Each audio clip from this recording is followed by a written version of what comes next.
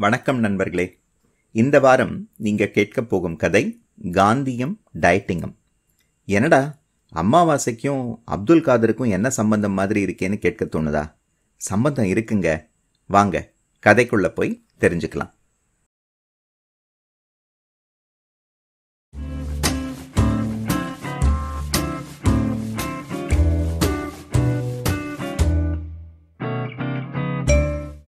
பள்ளிப்பாடத்தில் ஏதோ உதவி கேட்க வந்த அவள் மகள் பிரீத்தியிடம் எரிஞ்சு விழுந்தாள் கீர்த்தனா. ஏய் என்கிட்டயே எப்பவும் வந்து தொண தொண தொணன்னு பிடுங்காத. உங்க அப்பாவை பாரு. நல்லா சாப்பிட்டுட்டு சும்மா அந்த போனை தான் நோண்டிட்டு இருக்காரு அவர்கிட்ட போய் கேளு.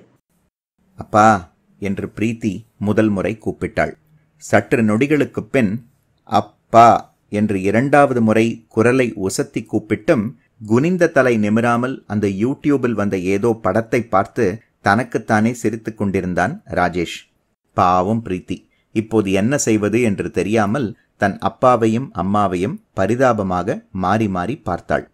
தன் வேலையின் நடுவே பிரீத்தியின் பரிதாப நிலையை கவனித்த கீர்த்தனாவிற்கு சுள் என்று கோபம் வந்தது. ராஜேஷ்!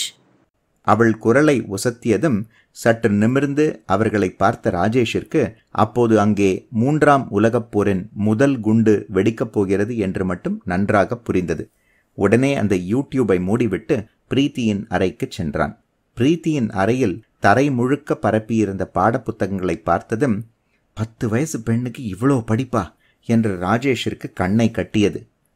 அப்பா எனக்கு ஒரு கட்டுரை எழுதணும்ப்பா இங்கே என் பக்கத்தில் வந்து உட்காருங்களேன். என்று அவனை பார்த்து சொல்லிவிட்டு சட்டென்று தரையில் உட்கார்ந்தாள் பிரீத்தி. கொஞ்சம் பருமனான உடல்வாக்கு கொண்ட ராஜேஷிற்கு காலை மடித்து தரையில் உட்காருவது பெரும் பாடாக இருந்தது. அதுவும் இரவு சாப்பாட்டிற்கு பின் உட்காருவது என்பது பிரம்ம பிரயர்த்தனமாகத்தான் இருந்தது. ஆனால் உலகப் போரின் குண்டு சத்தத்தை விட இந்த கஷ்டத்தை தாங்கிக் கொள்வது மேல் என்று சற்று பெருமூச்சு விட்டுக்கொண்டே காலை மடித்து தரையில் உட்கார்ந்தான். அப்பா காந்தியடிகள் பற்றி ஒரு கட்டுரைப்பா. அதில் அவர் வந்து சாகும் வரைக்கும் உண்ணாவிரதம் இருந்தாருன்னு எழுதியிருக்கு. அப்படின்னா என்னப்பா? ஒரு நாளைக்கு நாலு வேளை உண்ணும் ராஜேஷிடம் பிரீத்தி இந்த கேள்வியை கேட்டதும் அது ஒன்றும் இல்லடா கண்ணா. அவருக்கு ஆங்கிலேயர்கள் மேலே இருந்த கோபத்தை வெளிப்படுத்த அவர் இப்படி அடிக்கடி எதுவும் சாப்பிடாம போராட்டம் பண்ணுவார். நான் சாப்பிடாம அடம் பிடிச்சா அம்மா திட்டுறாங்க? அவர் அடம் பிடிச்சா அதை கட்டுரையாக எழுதி படிக்க சொல்கிறாங்களேப்பா அவள் கேட்ட கேள்விக்கு என்ன பதில் சொல்லலாம் என்று ராஜேஷ் யோசித்தான். ம் ஒருவேளை அவர் ஒல்லியாக நினச்சி அப்படி அடிக்கடி டயட்டிங் இருந்தாருன்னு நினைக்கிறேம்மா என்று அவன் ஹாஸ்யமாக சொன்ன பதிலுக்கு அப்பாவும் பெண்ணும் சேர்ந்து சிரித்து கொண்டனர். அப்போது அவர்கள் பேச்சை வெளியே கேட்டுக்கொண்டிருந்த கீர்த்தனாவிற்கு அவள் ஃப்ரெண்ட் அனுப்பிய ஒரு வாட்ஸ்அப் செய்திதான் ஞாபகம் வந்தது. அன்று இரவு படுக்கப் போகும் முன் ராஜேஷை ஆசையாக பார்த்தாள் கீர்த்தனா. ஏய் கீர்த்தி என்ன ஆசையா பார்க்கற? என்ன விஷயம்? என் ஃப்ரெண்டு உமா இருக்கால்ல அவ தான் எனக்கு சொன்னான். இப்போ எதுக்கு அந்த குண்டு உமாவெல்லாம் உள்ள இழுக்கிற? ராஜேஷ் அவள் ஃப்ரெண்ட் உமாவை குண்டு உமா என்று சொன்னதும் கீர்த்தனா அவனை மேலும் கீழும் பார்த்தாள். சரி சரி கோவப்படாத. இனிமேல் நான் அப்படிலாம் சொல்ல. இப்போ சொல்லு என்ன தூபம் போட்டா அந்த உமா? அந்த உமா வாட்ஸ்அப்ல ஒரு நியூஸ் படிச்சாளாம். என்ன தெரியுமா? Five by five five by five அப்படின்னா அஞ்சு மணி நேரத்தில் அஞ்சு வாட்டி எப்படி சாப்பிடலான்னு செய்தியா? கொழுப்பு. அஞ்சு நாள் டயட்டிங் செஞ்சு அஞ்சு கிலோ குறைவது எப்படி? அதுதான் ஃபைவ் பை ஃபைவ் நல்லதுதான். அந்த உமாவுக்கு இது கண்டிப்பா தேவை. அப்படி அஞ்சு நாள்ல குறையாட்டி அவளை இன்னும் அஞ்சு நாள் இருக்க சொல்லு. சார் இந்த செய்தி உங்களுக்கு. கீர்த்தனா இதை சொன்னதும் ராஜேஷிற்கு நெஞ்சே வெடித்து விடும் போல் இருந்தது. கல்யாணம் ஆகும்போது உன்னோட இடுப்பு சைஸ் இருபத்தெட்டு இப்போ முப்பத்தெட்டு. இதுக்கு என்ன காரணம்? என் செல்லமே இது என்ன பெரிய சிதம்பர ரகசியமா? உன்னுடைய சமையலின் கைப்பக்குவம் தான் காரணம். ராஜேஷ் சொன்ன பதில் அங்கே எடுபடவில்லை. அடுத்த அஞ்சு நாளைக்கு அவன் என்ன சாப்பிட வேண்டும் என்ன சாப்பிடக்கூடாது என்ற கீர்த்தனா அந்த வாட்ஸ்அப்பில் வந்த செய்தியை படித்தாள். அதை முழுவதும் கேட்ட ராஜேஷ் அன்று இரவு சாப்பிட்ட அந்த வத்தை குழம்பும் உருளைப் பொரியலையும் கடைசியாக ஒருமுறை நினைக்க அவன் விரல் நுனிகள் அவன் மூக்கருகே சென்றன. டயட்டிங் முதல் நாள் காலை. ஆஃபீஸ் செல்வதற்கு முன் சாப்பிட உட்கார்ந்தவனுக்கு இரண்டு கோதுமை ரொட்டியும் சூப் என்ற பெயரில் காய்கறிகளை வேக வைத்த நீரும் ஒரு கிண்ணத்தில் இருந்தது.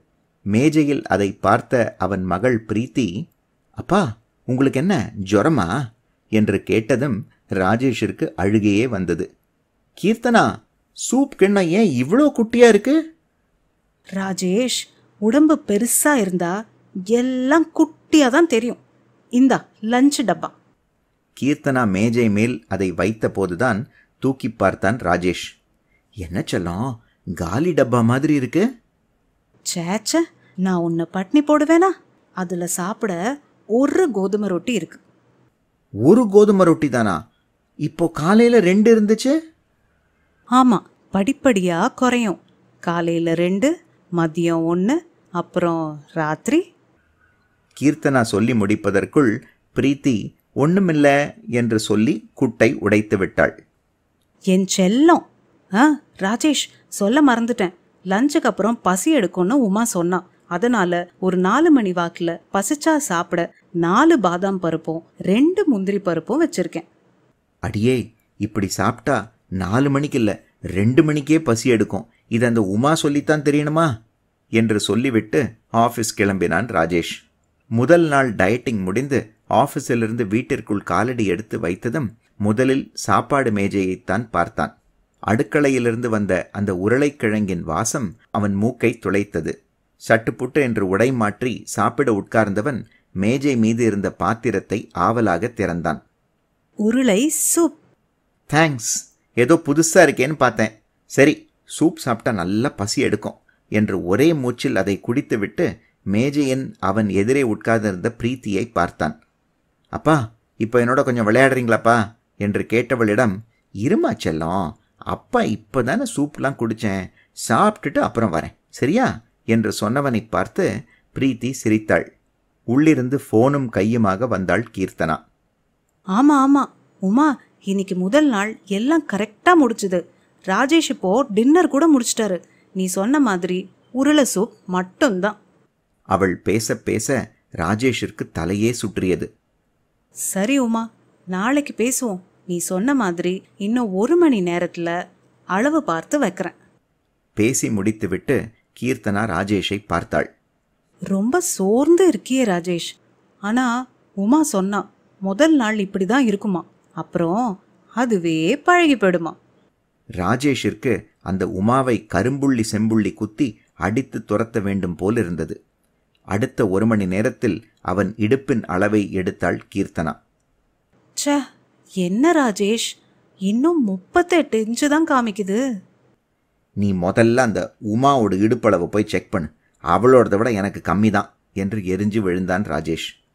இடுப்பளவு குறையாததால் அடுத்த நாள் அவன் தின சாப்பாட்டில் எந்த மாற்றமும் இல்லை.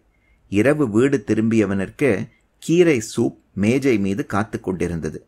கிடைத்தவரை லாபம் என்று அதை குடித்துவிட்டு குழந்தை பிரீத்தியின் தட்டை பார்த்தான். அவள் தட்டில் இருந்த நான்கு பூரியும் உருளைக்கிழங்கும் அவன் கண்ணை பறித்தன. பிரீத்தி கண்ணா நாலு பூரியெல்லாம் சின்ன பசங்க சாப்பிடக்கூடாதுமா.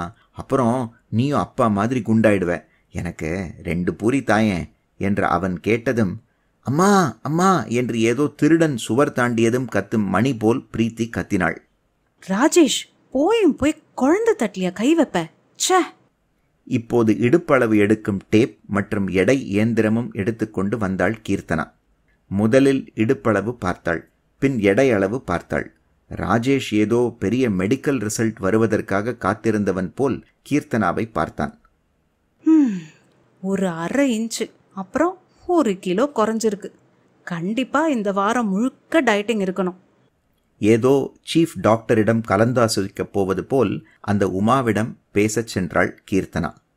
முதல் இரண்டு நாட்களின் வெற்றிக்குப் பின் மூன்றாவது நாளும் கோதுமை ரொட்டி கேரட் சூப் பாதாம் முந்திரி என்று பல வகை அறுசுவை பலகாரங்களோடு அந்த நாளும் வெற்றிகரமாக முடிந்தது. அன்று இரவு மீண்டும் ராஜேஷின் இடுப்பளவை எடுத்து பார்த்த கீர்த்தனாவிற்கு நல்ல முன்னேற்றம் தென்பட்டது. ஆம் அதே அரை இன்ச் குறைவுதான்.